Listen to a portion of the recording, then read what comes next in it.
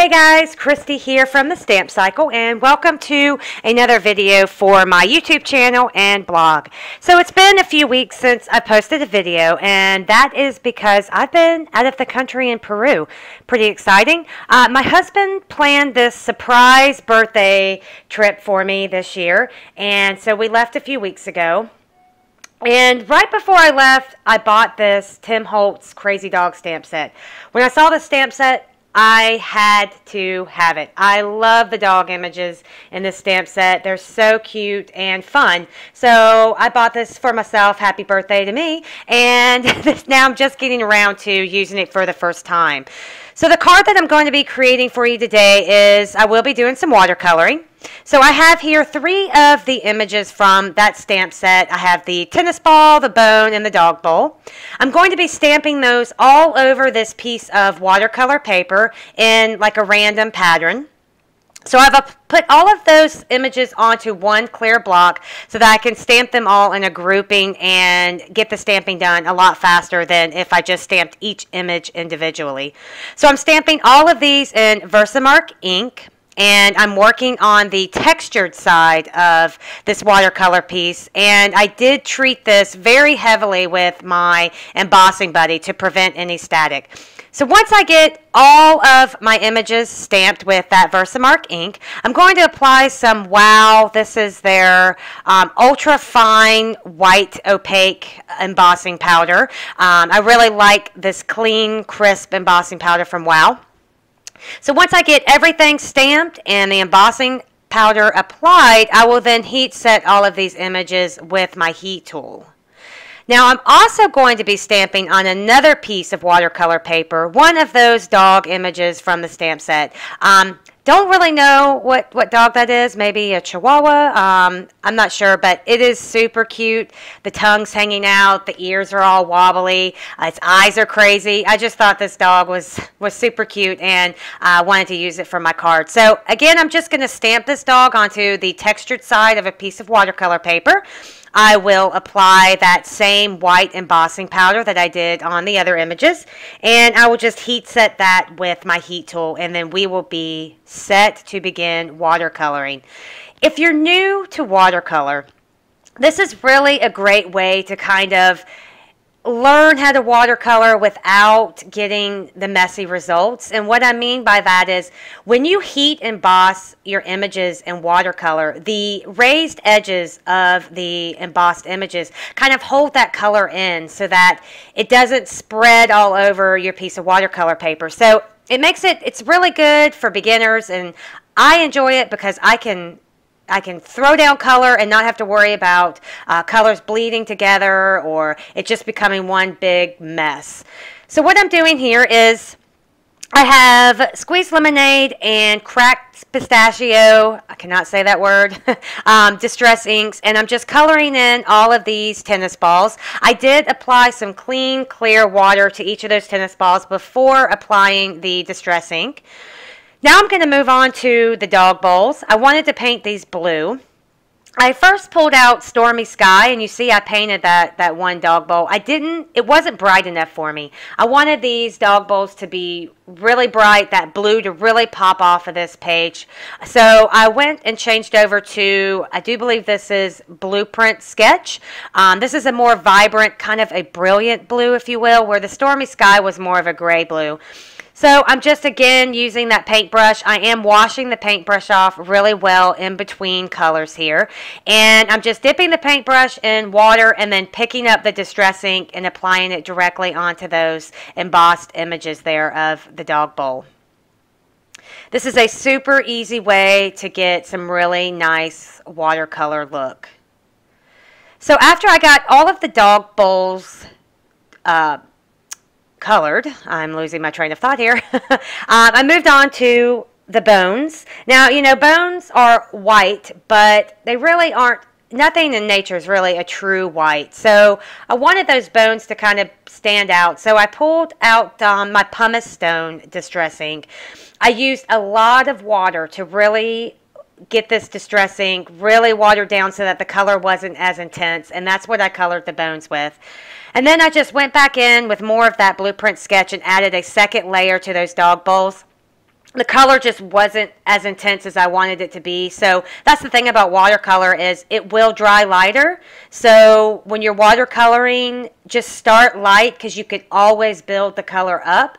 But if you start too dark, it's very hard to take the color back down. So always start with the light hand and then you can always add layer upon layer to get the depth or the brightness of the color that you want. So now that I've got all the images colored, I wanted to color this entire background. I wanted it to be light enough that it didn't distract from the images, but enough color that it made those pop off um, this background. So I did take that stormy sky that I originally pulled out for the dog bones, and I just got some water on my paintbrush, dipped it in to the Stormy Sky ink, and just started slapping it on here in the background. I'm not trying to be nice and neat. I wanted this to have sharp edges from the water, varying color depths across this whole background. Um, I wanted this to be a fun, kind of playful background, so I'm not worrying too much about um, getting that background to look the same um, across the across the whole piece of watercolor paper. So now that we've got our um, or what I'm going to call our pattern paper done, we'll move on to watercoloring the dog. So for the dog, I'm going to be using that same brown ink that you saw me use for the dog food in the dog bowl. This is Scattered Twigs. I'm pretty sure that's the name of it, scatter Twigs. But again, like I mentioned, you want to start lighter so that you can build on your color. So I've got a lot of water in my paintbrush here, and I'm just picking up a little bit of that um, Scattered Twig brown ink and just applying that all over to the dog body, um, the dog face, and the ears. And I know that I'm going to go back in and add some darker shadows with that same color ink. So that's why you want to start out light and then you can build your color from there. Um, shadows are not something that I'm very good at doing, so I really make sure to to not go too heavy-handed. So once I have, you know, the first initial wash of the dog body down, I'm going to continue painting the other pieces of the dog. For the snout, I used antique linen, um, so it's just a, a lighter like really tan shade.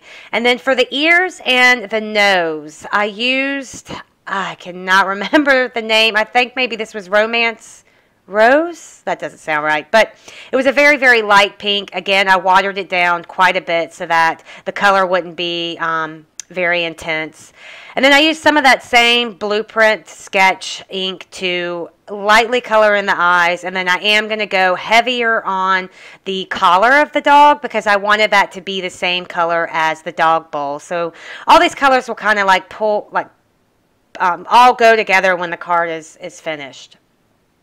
For the nose and the little dots in the eyes, I pulled in some um, black smut and then for the little medallion, the little name tag um, on the dog's collar there, I just used some of that squeezed lemonade. Now here I'll go back in and add those shadows um, like I mentioned. I just took the same color Distress ink. I used less water so that the ink was more intense and more saturated in color and just dropped in some shadows. I am not an expert at shadows honestly, I have no idea what I'm doing. I just kind of put down where I think shadows would be, and then I just took some clean, clear water and just blended those those sharp edges out, um, so that you really couldn't see the sharp um, the sharp edges there. Now going back to this initial piece that we watercolored, I made sure it was nice and dry and then I spritzed it with my Distress sprayer. This is going to, those dots of water will reactivate with the Distress ink and when you, when you pull them up with a paper towel, it leaves these really cool like water drop effect. It's um it's great. Distress inks really work well with that. And then I decided to add some black splatters here. So I've just smushed down my Distress ink pad in black smut onto a clear acrylic block, added some water with my paintbrush, and then I'm just going to flick the paintbrush on the edge of that acrylic block to get a nice even black splatter across that whole piece. This is a great way to add splatters to um, your projects. You know, you can just flick your paintbrush, but I find that you don't have as much control over your splatters as using an acrylic block like I did there. So now I'm just trying to figure out how I want this card to come together. I knew I wanted to cut out a circle uh, on the front of the card so that the dog is peeking through. But I wasn't sure how big of a circle to use. And so I decided on this one. That is the circle framelits. It's retired. It's from Stampin' Up. But um, you, any circle dies will you will work for this technique. And now I'm looking at this and I realized, okay, how am I going to put this card together? I need a card base. I just, you know, I'm, I'm looking at this going, wait a second, how's this become a card? So I took a piece of thick whisper white cardstock from Stampin' Up! and I just created an A2 top folding card. And I'm going to line that initial piece that we die cut out the circle onto the front of this card. Align the die in in that, use that kind of as my template to where I need to put that circle die, and then I'll just cut that circle out um, from that top folding card. Now, if you were smart and planned this out, do not do what I do. Plan, maybe plan it out. You could have cut these together at the same time, and you wouldn't have the problems that you'll see I have later when I try to line these up uh, when gluing them together for the final card. So, you know, save yourself the trouble. Just do it in one step. And then I also realized after I cut out this circle, I really wasn't digging the little edges there on the edge of the card. I kind of wish I had picked a larger circle and moved it kind of off to the side of the card so that I didn't have those little pieces that, that hung down. But I wasn't going to redo this card, so I just went with it, and, and we're working with it. So now I'm just going to work on creating my sentiment. I have a the stamp set thoughtful banners and I wanted to create a kind of fun sentiment so I made my own by using that set and it says happy birthday crazy. I thought that went really well with these crazy looking dogs. And because it wasn't one stamp itself and I had to line it up. I did test it on a piece of scrap paper just to make sure that I had um, that sentiment nice and straight. And now I'm just going to stamp this sentiment onto a piece of basic black cardstock that I have treated with my embossing buddy. I'm going to stamp with that Versamark ink, apply that same white embossing powder that I used for the rest of the card, and then I'll heat set that with my heat tool. And we'll get a nice white crisp sentiment on that black cardstock. I did trim that sentiment down to be a nice strip. And then I also cut out an additional strip of basic black cardstock that I'm going to apply to the left-hand side of uh, my card base here. I did leave a small white sliver there, um, so you'll have like a tiny little peek of white behind the uh, black. Now here's where I struggled with lining this up perfectly. Because of the way I used the circle and cut it out, those little edges there on the right side of the card were, were hard to, to line up. And so at the end of the video, I, I don't think I edited it out. I think it's still in there. You'll see that I have to kind of go back and, and trim this card a little bit because I just didn't get it straight. But it's okay. Hey, it still works. It's handmade. It's not perfect. It's, it's not machine made. It's made by my own hand. So just go with it. I did try to fix it, but that glue had already just grabbed on there and there was no fixing it. So now I just took that, um, that dog piece that we watercolored and I'm just gluing that directly into the inside of the card so that the dog peeks out of that circle. You do see there I did add some green grass um, with some of that cracked pistachio ink um, around to just kind of ground that dog. And now I'm just going to make a banner edge on the sentiment and then I'll pop it up with some foam 3D. This is a 3M foam adhesive tape.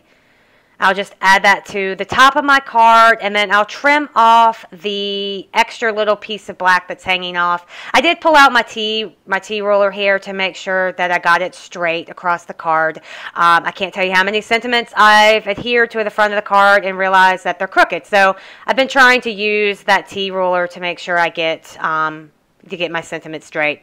And here, like I said before, I just had to go back in and kind of trim off um, the parts that were hanging over the edge of this card. And that finishes off this card for today. Love this stamp set. Thanks you guys for joining, and I will catch you on the next video. Bye!